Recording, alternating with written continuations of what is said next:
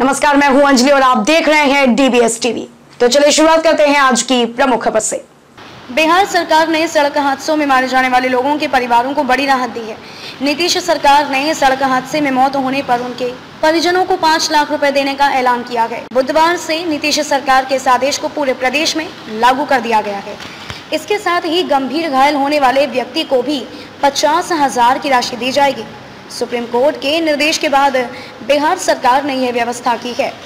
बिहार में बढ़ते सड़क हादसों को देखते हुए सरकार ने वाहन दुर्घटना सहायता निधि बनाई है, जो लोगों को हादसों के बाद मुआवजा राशि के रूप में मदद पहुंचाएगी। इस निधि में 50 करोड़ की राशि जमा की जाएगी, जो ज़रूरत के अनुसार लोगों को दी जाएगी।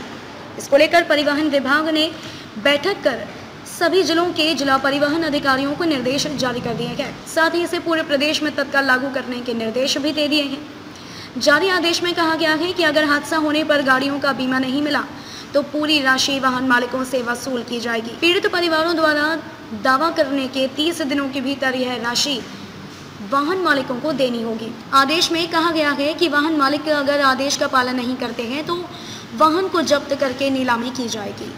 खबरों में अब तक लिए बस इतना ही। मिलते हैं फिर ऐसी ही किसी बड़ी खबर के साथ।